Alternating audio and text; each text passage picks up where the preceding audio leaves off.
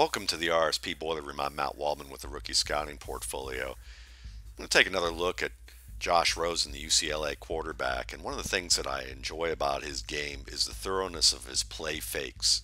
And we're going to see that also combined with this particular play where he throws off balance and shows some good skill under pressure to maneuver and throw accurately.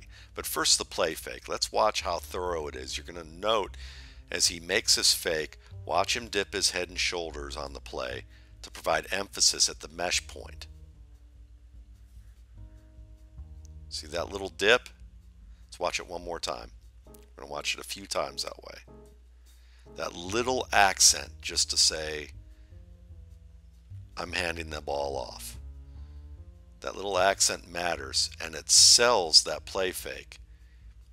Now he has some pressure. Now let's watch him against pressure. You got some pressure working up the middle to his right shoulder. Watch him adjust with a nice turn of the shoulder away from the defender who's pressuring him up the hash. Make a couple little steps just to adjust so his body can hit this outlet receiver downfield. And watch this outlet receiver make the first man miss, make the second man miss, or at least long enough, hold him off to get the first down. So, how does this receiver get so wide open on this play? Despite the fact there's a blitz and the blitz isn't really buying this play fake from Rosen, who had, again, good extension, good little emphasis with the shoulders and head.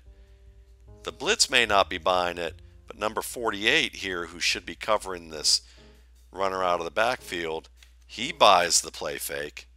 The runner slips out behind him. And now Rosen has a wide open check down option.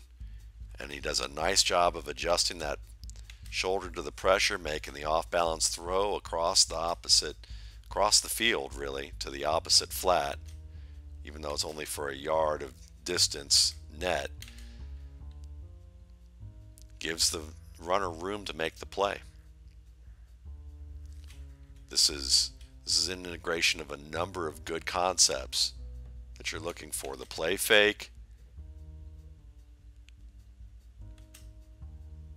the nice little shoulder reduction, and understanding how compressed the pocket is to get rid of the ball off platform and accurately and getting rid of it quickly because when you do that against a zone, you buy your receiver time in the outlet in that flat to make a play. I also like the poise in which Rosen is able to avoid pressure. This is another play where he shows economy of movement to maneuver the pocket. Watch him look to his left side at the beginning of his drop, and as he finishes his drop, he feels this edge pressure around the right side, and he just moves the he just moves the leg just enough to avoid keep his body in a good stance so that he can just step into the throw. And he delivers this ball from the 32 of the left hash just outside the right hash of the 45. So you're looking at a 23 yard throw, kind of a deep slant or maybe a dig, depending on, looks more like a deep slant into the receiver on time. And again, he's not overreacting to the pressure. He feels a little bit of it, but he's able to step, reset, and fire. Sometimes that's going to end up being a sack, but I think that he feels the pressure well, knows how much he has to move, and he's calm and poised. And that's what's more important is when you're resetting, can you be calm and poised to reset and fire in a timely, efficient, accurate manner. And he does all of that with the movement of his body with this play.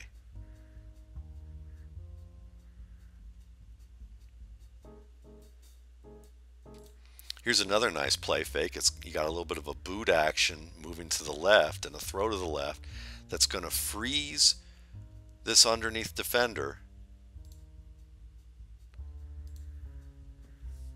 who's dropping here but watch him hold this defender just long enough that he can get that ball over the top and on a one-on-one.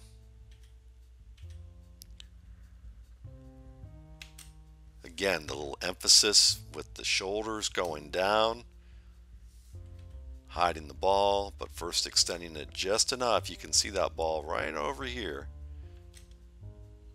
to really sell the fake. All these guys flowing to the right. This linebacker staying inside and holding his ground just in case to maintain that backside gap in case of a cutback. But it's going to open the field for this receiver I'm circling, who's going to have no one underneath to buzz out to that flat in time to make a play.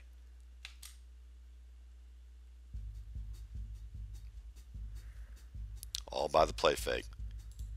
Here's another nice example against Stan.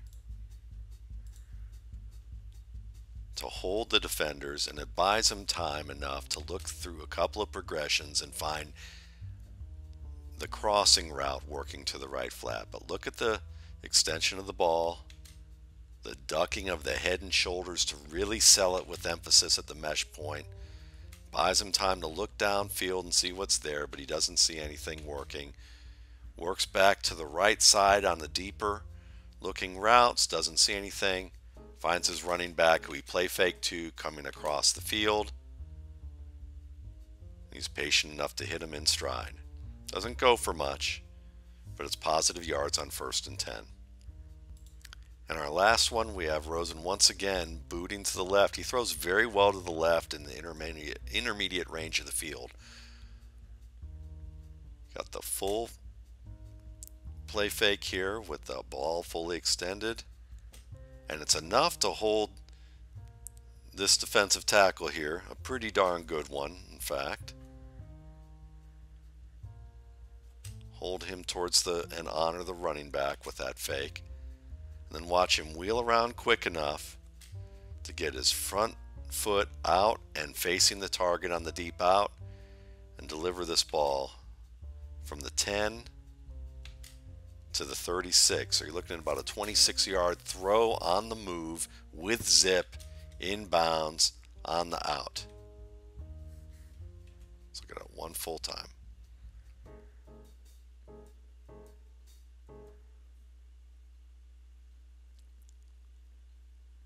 This is a quarterback with a lot of good technical qualities to his game. You can see him getting the opportunity to work under center, issuing three, five, and sometimes seven step drops. He avoids pressure well. He's able to maneuver and throw with accuracy.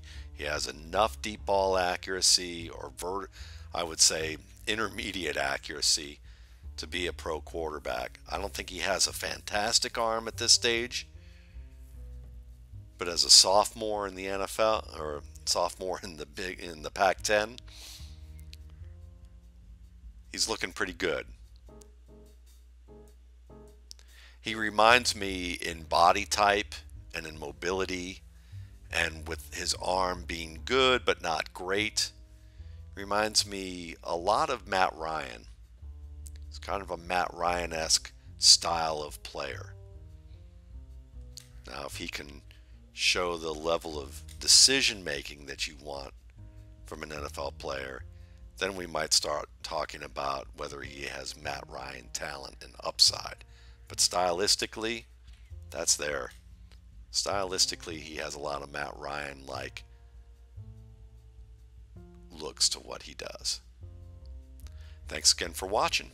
For more RSP Boiler Rooms, you can check out my YouTube channel, the RSP Film Room, or my blog at www.mattwaldmanrsp.com.